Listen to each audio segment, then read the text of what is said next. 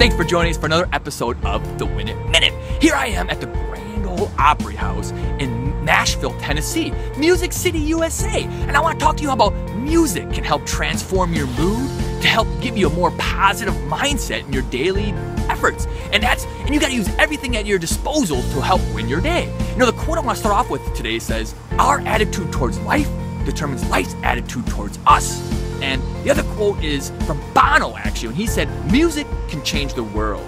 because it can change people.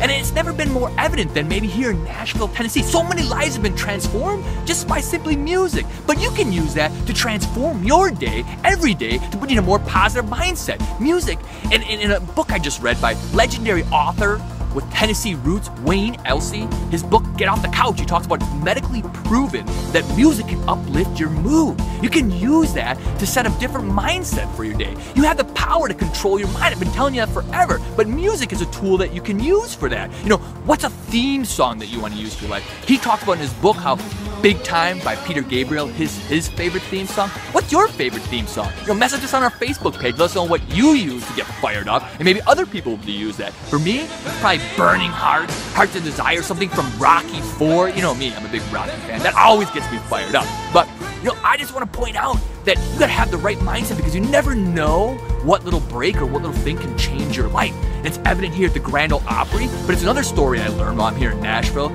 is that there's a local hotel that just prided themselves on the little things and they made a great cup of coffee.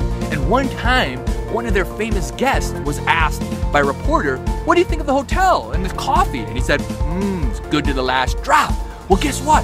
That was the Maxwell House Hotel. And because of that one quote, they turned it into a national, nationwide ad campaign and started selling their coffee all over the country. So it's just one little thing that they did better than other people, and because the right person came into their life and, and, and blew it up and made it huge. So you never know when you're gonna get your big break. So you always gotta have the right mindset, always have the right attitude, and keep doing the right thing.